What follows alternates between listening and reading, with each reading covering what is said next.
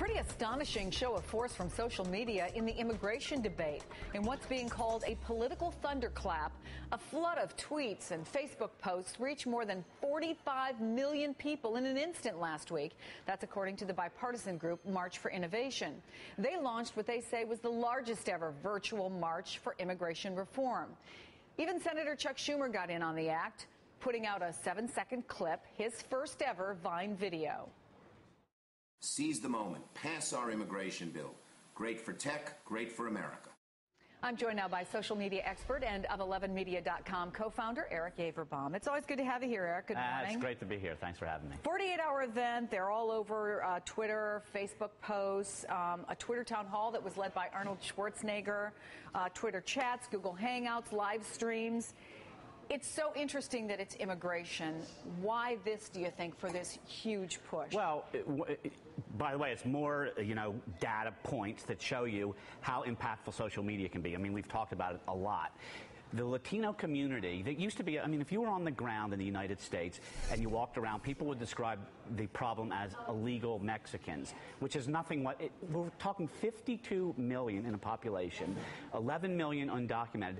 The Latino youth were the first early adopters of the smartphone. They used it first. So there's so many of them, and many couldn't afford computers. That's exactly so right. They, they, get smartphones. That's right. They, they, didn't have a computer at home, so they got a smartphone. Yeah. Uh, being that powerful with technology and that number of people who feel so passionate about an issue. I mean, you know, uh, uh, there's a group called the Dreamers. Uh, uh, there's even a documentary now out about it. This is going to be that a, you watch online. That's right. That you watch online, um, done by Davis Guggenheim, a very famous person person, you know, with incredible passion and emotion. If you watch that, you might feel real different just from watching that one documentary. You know, uh, on one hand, you have them trying to activate that entire community, particularly the young community, obviously, because it is social media.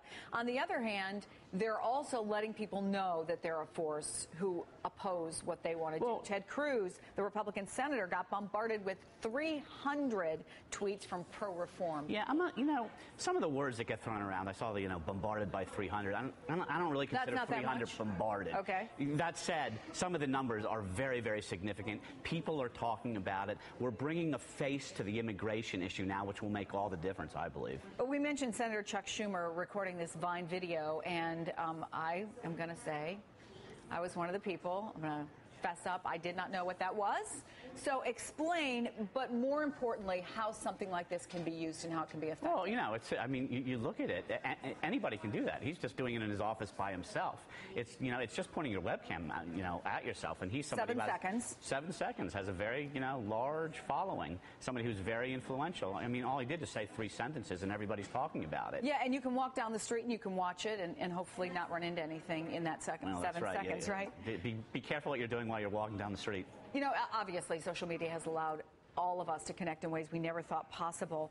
Where's it headed, and where do you think uh, the significant things to watch are when it comes to things like public policy? Uh, well, I think where it's heading is it's going to be a combination because nothing will replace the you know old-fashioned real people marching in Washington D.C. Right. That still is going to need to exist.